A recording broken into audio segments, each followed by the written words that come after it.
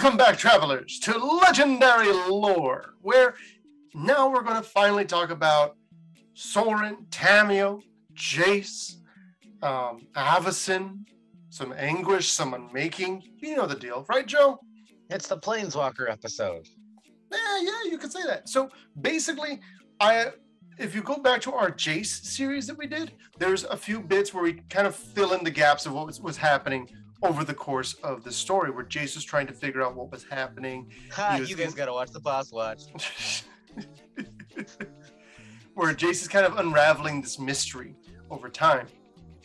And it gets to the point where he and Tamiyo get to a the cathedral. And they find that they they've they've worked their way all the way to Thraben, and they have gone to the roost of Avacyn. And so now all th- uh, the three of them, Avacyn, Tamiyo, and Jace, are locked in combat. And Avacyn is super overpowered because you have to remember she was a creature created prior to the Mending. She was given power by an old walker. So Avacyn's power is like she's starting to see things in people. What she describes as squirming jelly, as revolting lies dressed in as humans. Like misshapen people, basically. And she and she's kind of like super paranoid, super insane, and she's just slaughtering everyone, right? But here we have Jason Tamiyo, and they're here at her roost. And she's, I am the bulwark against fiends from without. I destroy wickedness no matter its origin, no matter its form. I have seen you crawl across my provinces, slither into my church, but now I see you, and now you answer to me. She's going to slaughter Jason Tamiyo. And then the skylight above her explodes, and a man crashes through it feet first. And then she just throws magic at him, and like holy magic, magic that is supposed to like basically obliterate a vampire, right? Hits him straight in the chest, and it dissipates because he created her. He's automatically immune to her. Do not cite the ancient magics to me, witch. Yep. I was there when they were written. Exactly.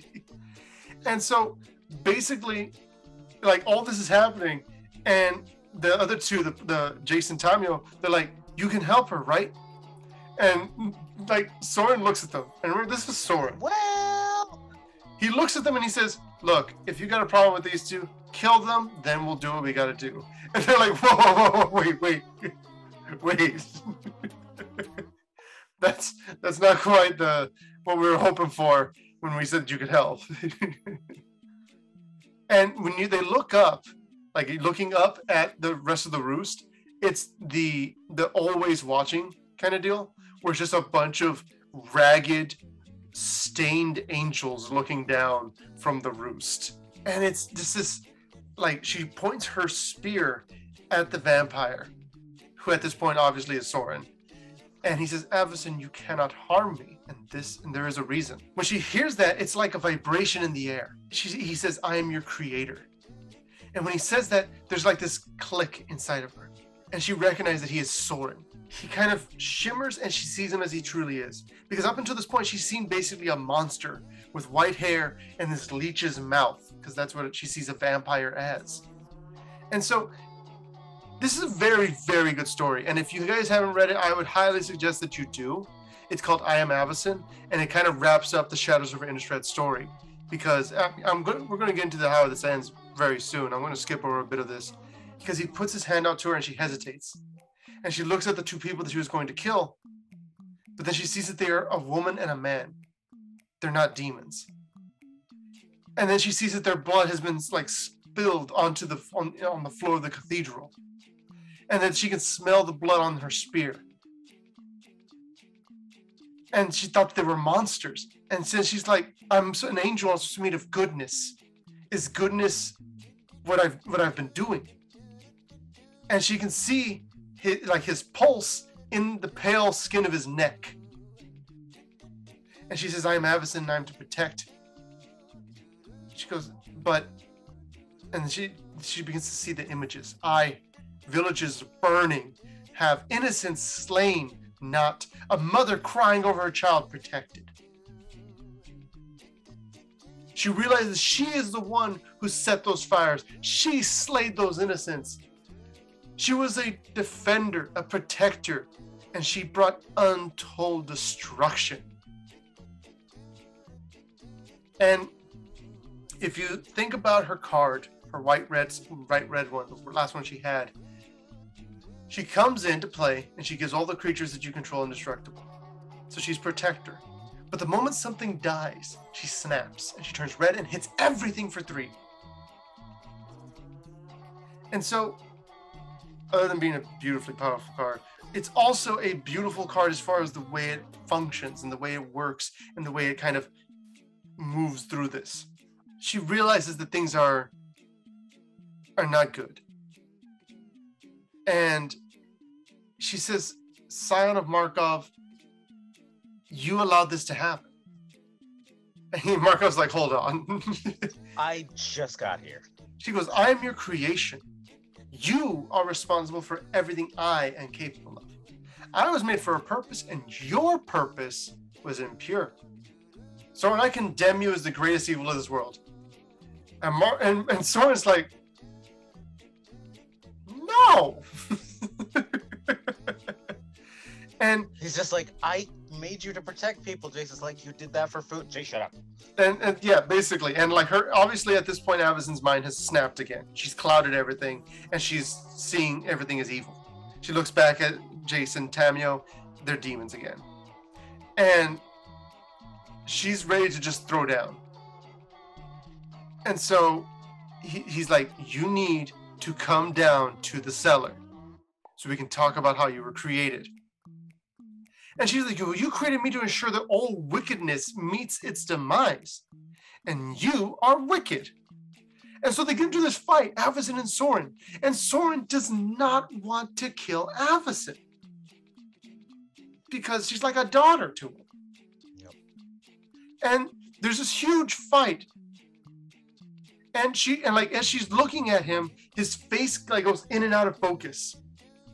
She sees Sorin one moment, she sees a monster the next, a leech, a demon, and she just keeps kind of like shifting. She is not all there. And she actually slashes through his throat, and she sees rotting ooze gush between his fingers, turning to a sickly fungus on the flagstones. Obviously, it's not, but that's what she's seeing. She she is completely gone. And they go all the way down to the vault of the archangel. And once they're down here, she can hear the people above shouting warnings. And to her, they sound like unanswered prayers. And Sorin explains to her, This is where you were made. And she's like, Oh, where you made me what I am. He goes, I can, I, he's like, I can cleanse your mind. I can make you a proper instrument of virtue again. I can make you anew, reforge you. And she's like, If I am not the daughter you want, then we must battle again and again forever. I will never yield. I am no monster's instrument. I am not going to let you infringe upon my freedoms. America. she says, I know what you'll do. So go on, create another vault of silver, imprison me, and then the prison will be destroyed again. Because that was old back when he was an old walker. He doesn't have that power anymore. Mm. And she's like, You're my creator. You have to know the way of this world. What can't be destroyed must be bound. There's no other way to get rid of me because you can't get you can't stop me unless you have a prison of silver. What cannot be destroyed must be bound. And the sword takes out his sword. But Avacyn, you can be destroyed. And she says, I cannot see his face now, but because he turns away from me. I cannot see whether he is monster or man. I can only see the point of that sword, and I can only hear ancient words. Words of a ritual performed in reverse, words of a gift being revoked. I can only feel my knees dropping onto the unyielding limit of the cathedral floor. I can only smell the ash of some nearby smoldering. I can only touch the shadow on the floor and under me, the shape that marks my first moment. And she says, I can only say, in this my final prayer to the world, that I only ever meant to keep the innocent from harm. I am Avacyn. I am to protect. And it's at this point that Jason's like, What just happened? and it's just a smoldering pile of ash on the floor where Avacyn used to be. And Sorin is there, he's trembling, and his he's got his fist clenched around his sword, and he says, "I had to." And Jace's response is this. Let me just read what it says. Jace made incredulous gestures with his hands. and then he turns to, uh, to Tamiyo and he's like, Did he have to? And she knows, Tamiyo knows, this is going to have consequences. Lots of consequences. And Jace is like, Yeah, the, the people of the world have lost their protector. And Tamiyo's like, No, the plane lost its protector. And it's at this point that there, there's this profound boom that rolls across the sky. Like, remember how there's been a storm this entire time? Finally, a crack of lightning, basically. And the earth is just tremor, tremoring uncontrollably. There are shards of stained glass, but like just like rattling off the walls, out of their frames. Things falling everywhere, statues crumbling, things melting. Jace uh, watches Sorin shove his sword into his scabbard, and turn away, and he pulls up his collar, and he uh, goes up the staircase. And he, like he's literally just like breaking into the marble banister with his claws. And it's at this point that Jace basically just yells, "What have you done?" Now, Joe and I, we know what's happened. And a lot of you probably know what's happened for the sake of this of this legendary lords, we've acted like we don't know what's happening or what's going to happen. But uh just let's say at the very end of this, we have I'm just gonna give you a real quick little cut to Arlinn Kord, just like at the beginning of the first one we had a little bit with Arlinn Kord. Uh, this is the end of Shadows of Innistrad as well.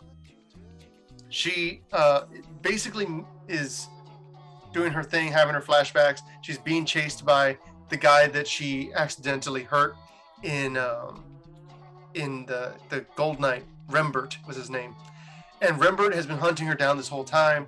Arlinn Kord is, is like cornered when an angel shows up, and the angel's got the blood, and the angel's crazy and starts killing off normal people. So Arlinn Kord shifts into a werewolf and then kills the angel, rips out the angel's throat and everything, and Rembert is on the ground. He's injured and Arlinn goes over to him and holds a paw out to him. And he's like, You lied to me. Because she had lied about being a werewolf. And she's like, I did. He goes, You killed the others. And goes, She goes, I did. And he goes, I can't. She goes, I'm no longer slave to the curse. I'm free to be a protector as I was meant to be. You knew me once, know me again. Take my hand. And he like he takes her arm and he says, Avacyn, help me. And she goes, Avacyn is gone. We have to find strength in each other.